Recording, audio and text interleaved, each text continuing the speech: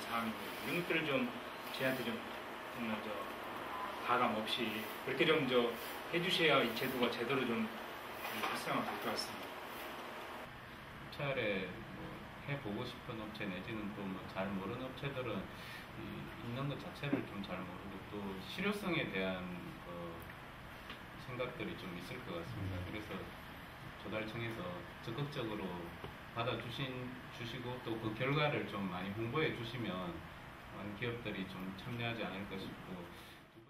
대기업들 참여를 제한하고 중소기업들한테 기회를 줬지만 정부 측에서도 이걸 어떻게 가져가야 될지 그리고 참여하는 기업들도 어떻게 컨소시엄을 구성해서 공동수요체를 가져가야 될지에 대한 어려움들이 있어서 이런 부분들이 단순히 하나의 신고 사례가 아니라 제도로 개